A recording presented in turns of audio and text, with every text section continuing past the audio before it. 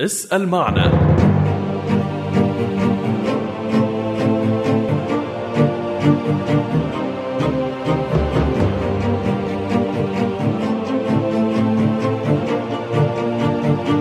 اسأل معنا. يأتيكم الثلاثاء في تمام الحادي عشر والنصف صباحا.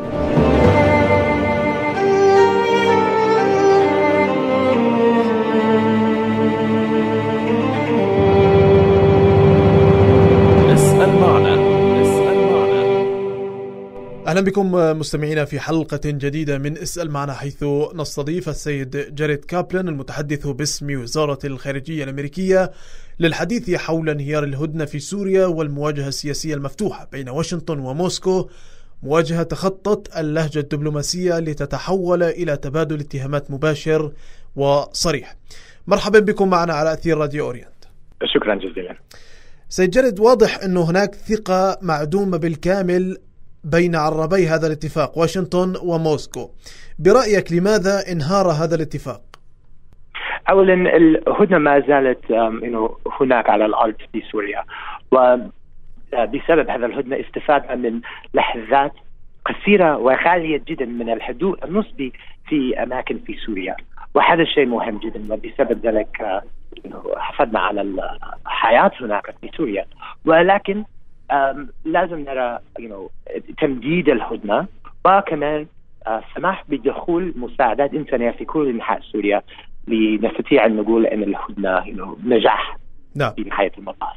ولكن هنا في نيويورك الوزير آه، الخارجيه جون كيري ووزير روسي آه، سيرجي لافروف هم سوف يستمر في آه، يستمروا في المحادثات في أيام القادمه عن الطرق وإمكانيات للتعاون والتنسيق أكثر في المستقبل. ولكن اولا وكما قال الوزير كيري اليوم لازم نرى أن روسيا يستخدم نفوذها ليضغط على النظام آه، السوري للسماح بدخول مساعدات إنسانية فوريا في كل سوريا.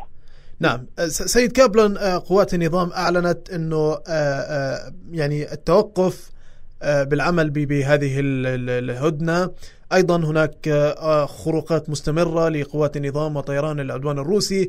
آه، كذلك ال- ال- ال- الأمر إنه المساعدات الإنسانية حتى اللحظة لم تدخل إلى مدينة حلب. آه، آه، يعني ب- برأيك آه، أو برأي الولايات المتحدة الأمريكية أيضا لا يوجد هناك جدية آه، آه، سواء من النظام أو روسيا آه، للتعامل مع هذا الاتفاق الروسي ال- ال- ال- ال- الأمريكي كما يعني آه، ينص هذا الاتفاق. اولا ليس هناك اتصال بين الحكومة ال- الأمريكية ونظام بشار الأسد، هو فقد الشرعية وهو نعم. لازم يتخلى السلطة. ولكن نحن في اتصال دائم مع الحكومة الروسية وجون كيري في اتصال دائم مع نظيره الروسي سيرجي لافروف ودعا حتى هذا الصباح جون كيري إلى سيرجي لافروف ليضغط على النظام لتمديد ال- ال- الهدنه ولم الولايات المتحدة لا آه، تستمع إلى you know, الكلام الحكي فاضي من الحكومة السورية من النظام السوري ولكن الاتصال تستمر بين الولايات المتحدة وروسيا نعم. بالنسبة للهدنة وندعو آه، إلى الحكومة الروسية ليضغط على النظام للسماح بدخول ال- ال- المساعدة الإنسانية. الولايات المتحدة قدمت أكثر من 5.9 بليون دولار مليار دولار في مساعدات إنسانية نعم. من خلال برامج الأمم المتحدة. ولكن الشاحنات من المساعدة الإنسانية على الحدود. بشار الأسد لا يسمح بدخول الشاحنات إلى آم، داخل الحكومة ال- معارض ال- سوريا ولذلك نعرف know, في جوع. في نعم. you know, مدن كثيرة آم، في سوريا ف you know, مستحيل آه، ذلك لازم you know, آم، يسمح بدخول المساعدة الإنسانية فوريا وفي كل انحاء سوريا من خلال الهدنة. نعم سيد كابلن هناك سؤال وردنا كثيرا ويعني طرح آه، علينا حتى نقوم بإيصاله لحضرتك أنه الإدارة الأمريكية كيف تتعامل آه، يعني مع ال- ال- الخروقات العديدة التي يعني قام بها طيران النظام والطيران الروسي أيضا في سوريا. هناك مجازر ارتكبت خلال الهدنة. نعرف أن الهدنة ليست مثالية ولكن من بسبب الهدنة ومن أجل الهدنة استفدنا من لحظات قصيرة جدا من الهدوء النصبي في أماكن في سوريا. نعرف أن الهدنه ليست ليست مثالية ونستمر في جهودنا لندعو الحكومة الروسية ليضغط على النظام نعم. لإنحاء المجازر و يضغط على القوات السلاحية السورية ولكن من الصحيح أننا رأينا أماكن من الهدوء النصبي في سوريا وهذا الشيء مهم جدا ومن قبل هذه الهدوء النصبي حققنا من احتفادنا من بعد الحياة في أماكن. وهذا شيء غالي جدا ومهم جدا ولازم نتذكر في هذه الأيام. نعم. أود أن أسمع منك تفسير حول ما جرى في دير الزور. البعض يقول أن الولايات المتحدة الأمريكية أرادت من هذه الضربة أن توجه رسالة ما إلى روسيا وإيران والنظام. الولايات المتحدة نحن ما عندنا أي اتصال مع الحكومة السورية وما وليس هناك اتصال مع الحكومة الإيرانية بالنسبة للملف السوري. نحن في اتصال فقط مع الحكومة الروسية بالنسبة لهذا المجال.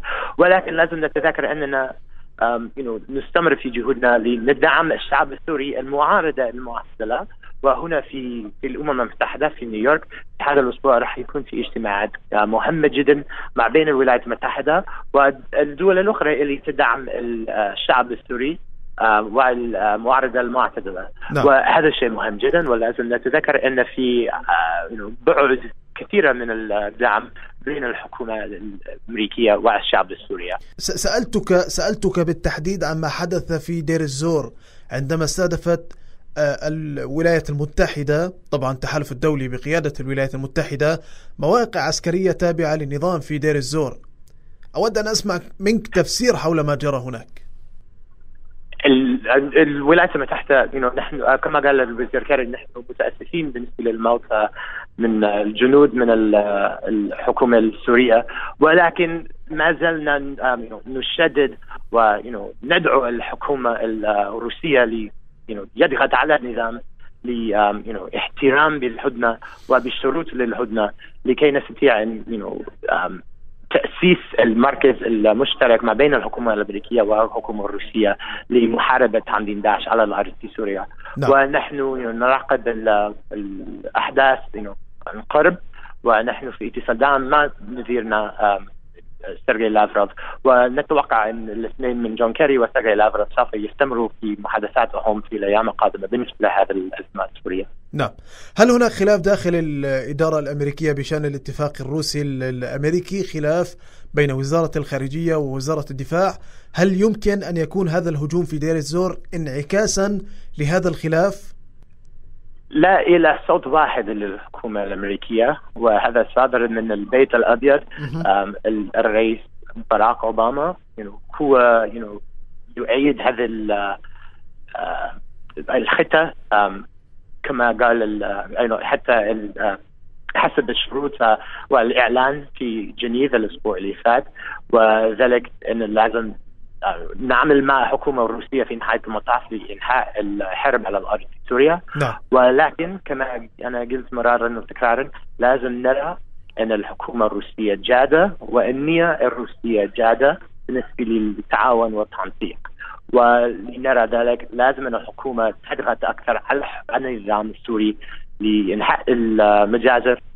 وللسماح بدخول المساعدات آه، إنسانية فوريا وفي كل حسبية نعم. كيف يمكن أن يؤثر ما حدث في دير الزور على الاتفاق الروسي الأمريكي؟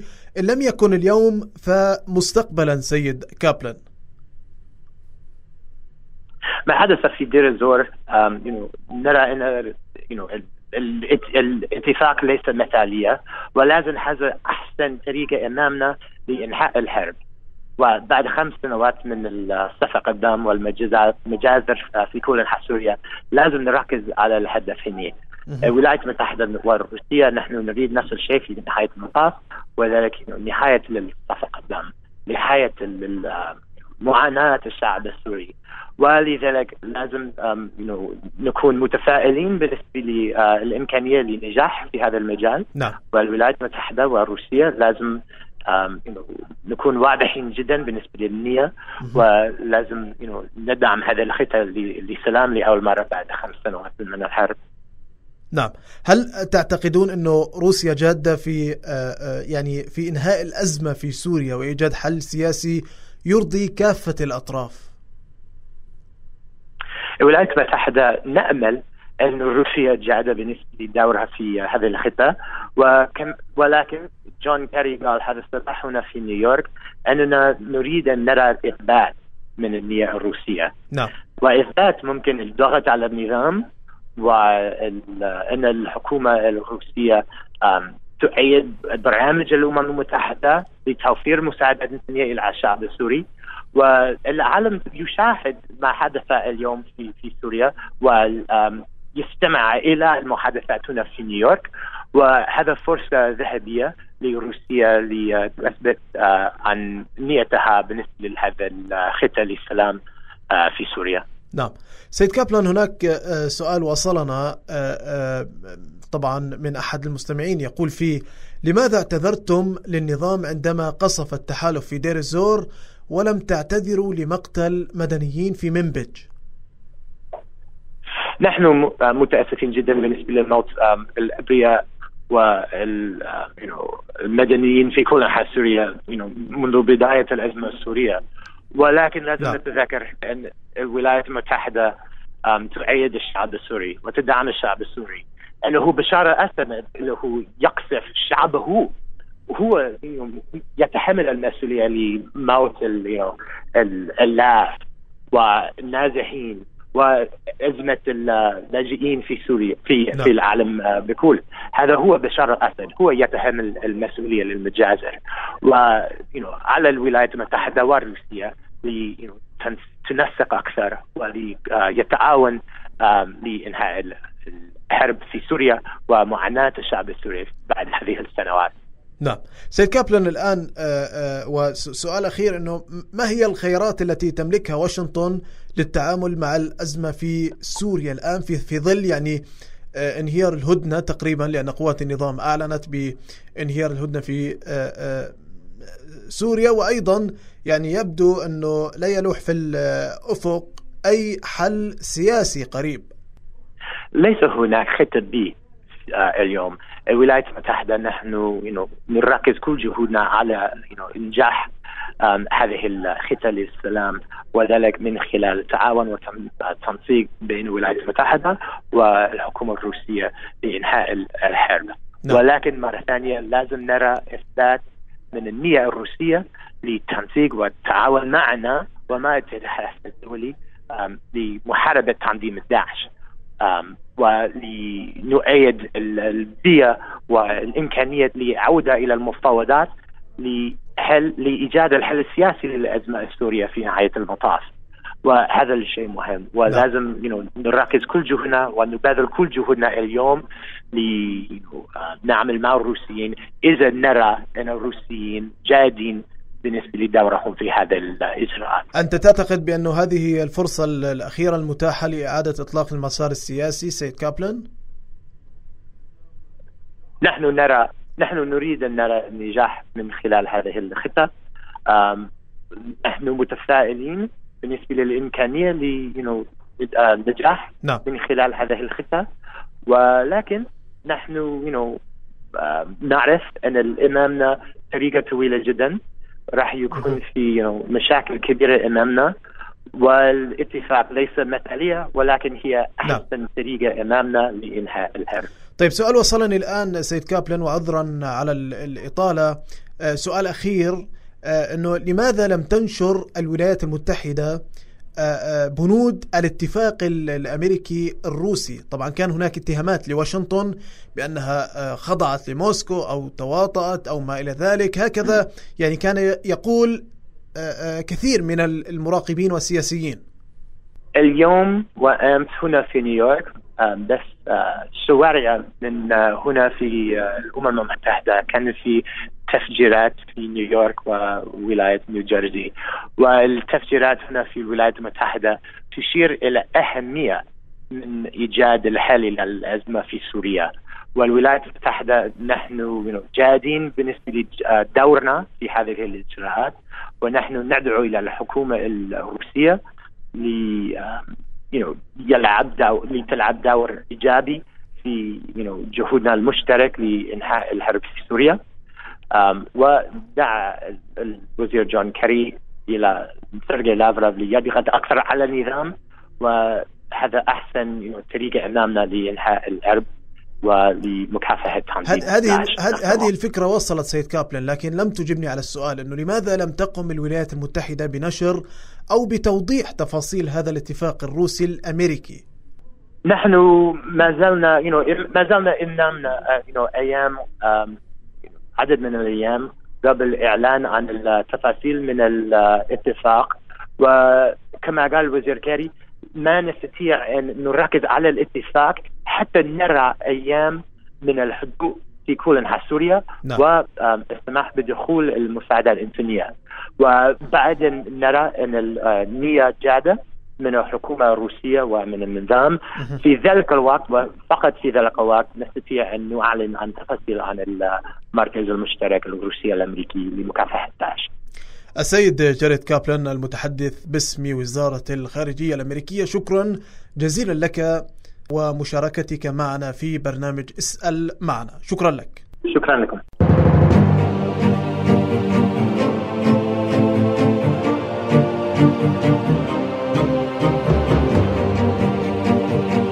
قدمنا لكم برنامج اسأل معنا.